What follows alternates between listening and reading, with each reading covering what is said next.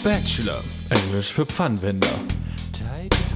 Heute bei der Spatula die schwierige Wahl, ob Eggy seine Angebetete die Rose bekommt oder eben nicht.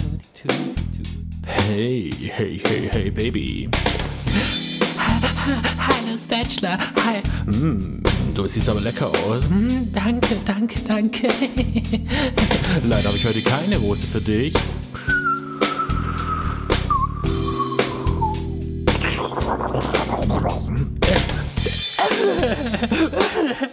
Bakavdu, bakavdu.